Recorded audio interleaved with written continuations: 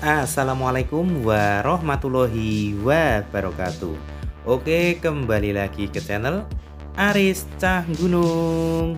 Oke pada kesempatan kali ini Aris Cah Gunung mau berbagi tips Bagaimana cara memasang fiber dari plastik penutup gerbang ya seperti ini Agar kuat namun tetap rapi tanpa menggunakan kabel tis atau tali pengikat.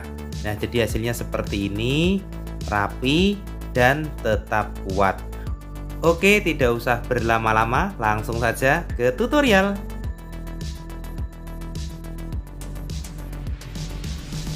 Oke kita sudah ada di dalam pagar.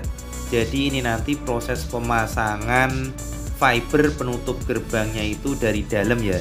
Jadi nanti itu eh, pagar besinya itu tulangannya kelihatan dari luar ya dan fibernya menempelnya dari dalam seperti ini.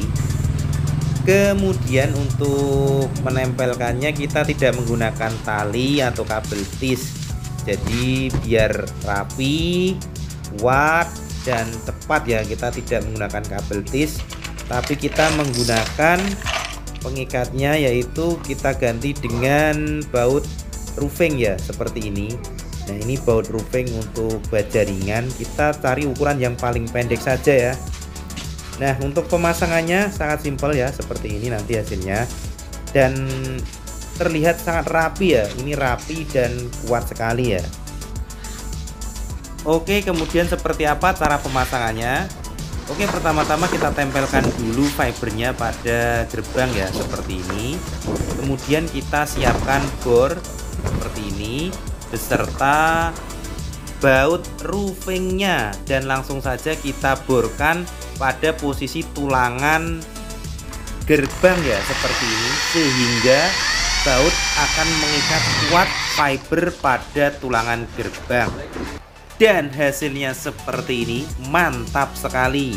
Rapi kuat dan tahan lama oke demikianlah sekelumit tutorial dari saya.